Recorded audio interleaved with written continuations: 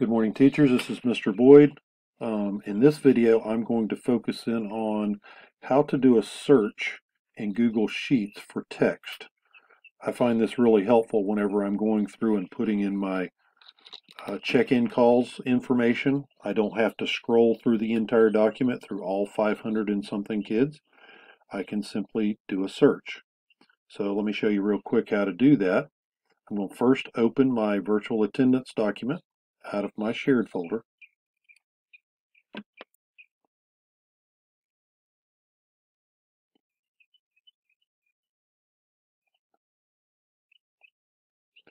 Next, I will go to Edit, click on the Edit menu item, and I will click on Find. And I can simply type my name in here and what Sheets is going to do is it's going to start at the top of the document and search through the entire document for any mentions of my name. So let's see how that happens right here. Click Find. And you'll notice that my name popped up first to, next to the first student in my tribe. And then I can go next, right next to my name, and I can add any information that I want.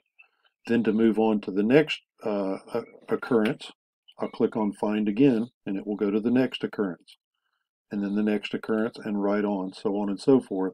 It will walk me through the entire document finding my name in the document. So hope you guys find this helpful